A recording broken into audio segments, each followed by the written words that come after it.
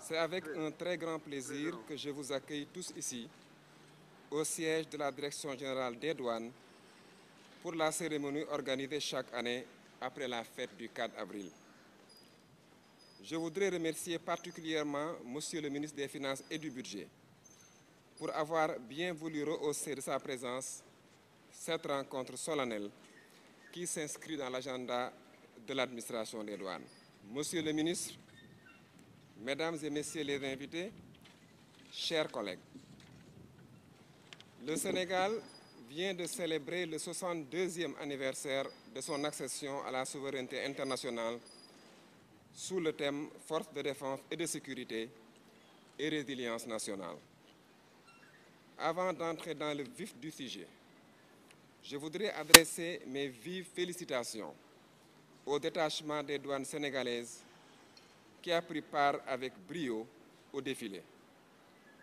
Honorables invités, Mesdames et Messieurs, la célébration de la fête nationale de notre indépendance se déroule dans un contexte sanitaire marqué encore par la pandémie à Covid-19. Cette pandémie qui a entraîné des répercussions économiques et financières sans précédent à l'échelle mondiale a conduit nos hautes autorités étatiques à apporter des réponses adéquates afin d'en contenir les externalités négatives. À ce titre, permettez-moi de saluer les nombreuses initiatives prises par notre pays à travers le programme de résilience économique et sociale PRESS et le plan de relance de l'économie nationale PREN. Au titre de la résilience, l'administration des douanes, aussitôt après l'adoption du PRESS, a mis en œuvre une stratégie de riposte articulée autour de 14 mesures prises en application des mesures édictées au niveau national. Il s'agit d'actions prioritaires visant principalement à soulager les populations et à accompagner durablement les entreprises durant ces moments difficiles. Je citerai entre autres mesures la réorganisation des horaires de travail, le recours aux procédures dématérialisées afin de réduire au maximum la présence physique des usagers, les facilitations accordées aux opérations de dédouanement de certains produits tels que les hydrocarbures, les produits pharmaceutiques, les denrées alimentaires, etc. À l'analyse, ces mesures ont fortement contribué à amoindrir les effets négatifs attendus de la crise par un assainissement du cadre macroéconomique et un soulagement des entreprises et des ménages. Chemin faisant, effort de ces nombreux acquis, le gouvernement du Sénégal a engagé la phase de relance de l'économie durant laquelle les douanes sénégalaises ont également apporté leur pierre à l'édifice.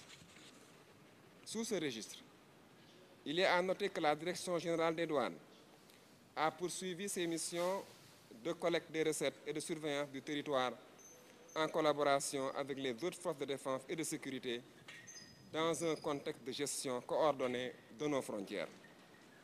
À ce titre, des résultats importants ont été notés en termes de saisie de marchandises frauduleuses et de substances illicites, comme en attestent les statistiques répertoriées. La relance s'est aussi matérialisée par la mise en œuvre de l'interconnexion des systèmes de transit SIGMAT à l'échelle sous-régionale à travers une meilleure prise en charge des corridors de transit. Il en est de même du programme de partenaires privilégiés transitoires vers le programme d'opérateurs économiques agréés OEA qui participera davantage à consolider la chaîne logistique en alliant à la fois sécurité et facilitation des échanges. Enfin, face aux menaces sécuritaires de plus en plus prégnantes, il est apparu vital pour l'administration des douanes de continuer à assurer le renouvellement et la modernisation de ses installations et équipements.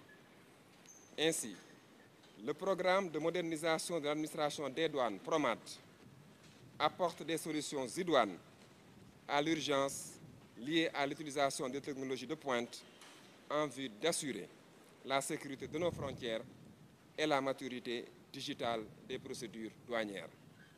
avec cet ambitieux programme de modernisation, l'avenir peut être appréhendé avec optimisme.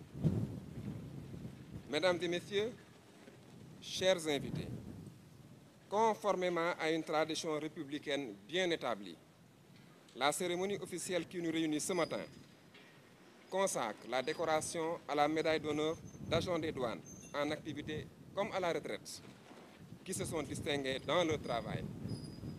Au nom de toute l'administration des douanes, je leur adresse mes vives félicitations. J'invite tout le personnel des douanes à s'ancrer dans le culte du travail et de l'excellence, qui constitue le seul chemin menant vers la performance individuelle et collective. Je ne saurais terminer sans avoir une pensée pieuse pour le personnel et nos collaborateurs rappelés à Dieu. Je m'incline devant leur mémoire et implore le Tout-Puissant de les accueillir au paradis. Je vous remercie de votre attention. La cérémonie qui nous réunit aujourd'hui est une très belle vieille tradition républicaine qui symbolise un moment solennel dans la vie de la nation. En effet, nous venons d'assister à la prise d'armes organisée cette année à la place de l'indépendance pour commémorer la célébration du 62e anniversaire de l'accession de notre pays à la souveraineté internationale. Cette année encore, comme par le passé, le détachement des douanes sénégalaises, en communion avec les forces de défense et de sécurité, a défilé avec succès dans une parfaite coordination et une discipline remarquée.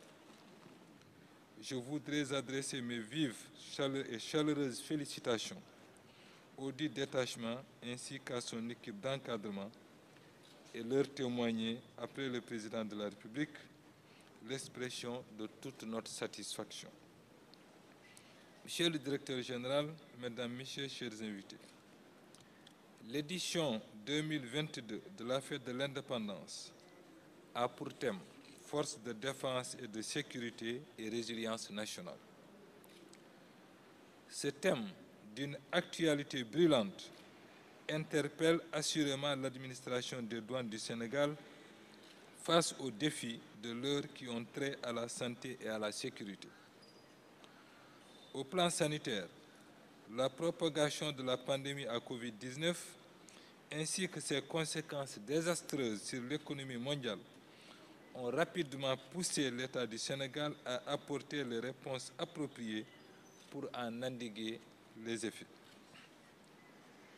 Sous sa haute impulsion stratégique, le chef de l'État, son Excellence Macky Sall, a fait mettre en place, comme le rappelait tout à l'heure le directeur général, le programme de résilience économique et sociale. Ce programme, dans sa déclinaison opérationnelle, au titre de l'assainissement des cadres de gestion macroéconomique et de l'approvisionnement des pays en denrées, matériel et biens stratégiques, s'est exécuté avec une excellente contribution de la Direction générale des douanes à travers 14 mesures phares. Je dois ici dire que ces mesures douanières ont fortement participé à assurer la bonne résilience de notre économie avec un taux de croissance de plus de 1,5% en 2020, alors que les autres pays africains, notamment dans la sous-région, peinaient à remonter la pente avec des taux de croissance négatifs. Je salue donc à sa juste valeur la stratégie spécifique de riposte mise en place par la Direction générale des douanes conformément aux prescriptions contenues dans le programme de résilience économique et sociale.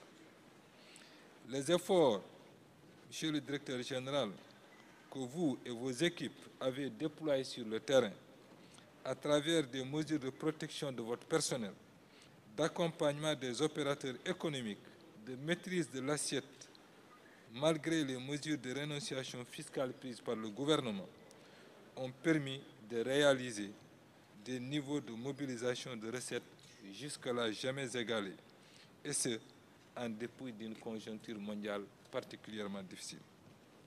Assurément, Monsieur le Directeur général, les douanes sénégalaises ont véritablement fait montre de résilience en accompagnant le gouvernement dans sa stratégie de riposte Covid-19 dont l'efficacité a permis de soulager les populations et les entreprises fortement impactées et de poser les jalons de la relance de l'économie nationale. S'agissant de la relance, les efforts devraient être accentués sur les mesures d'accompagnement et de protection de nos entreprises fortement impactées par la pandémie.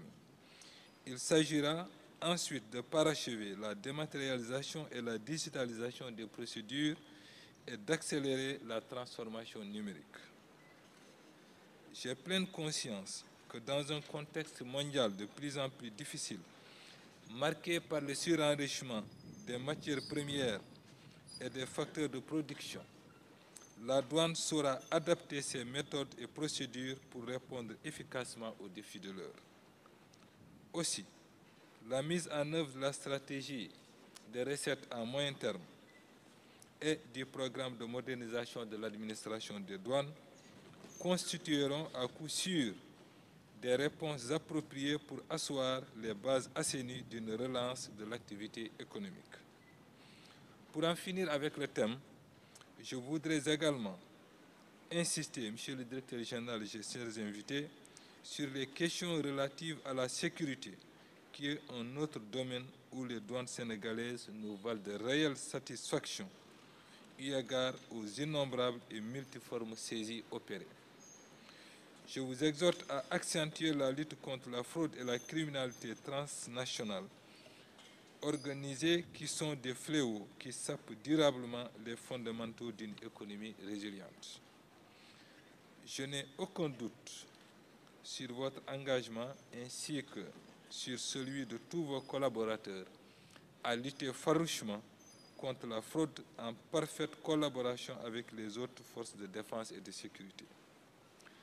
En procédant ainsi, les douanes feront preuve de résilience car la sécurité constitue de nos jours le premier intrant de base d'une économie de plus en plus mondialisée, en proie à des soubresauts aux conséquences plus que désastreuses. Monsieur le directeur général, mesdames, messieurs, cette journée est également l'occasion de procéder à la remise de décorations au personnel des douanes en activité comme à la retraite, qui s'est distingué avec abnégation et dévouement dans l'accomplissement de sa mission.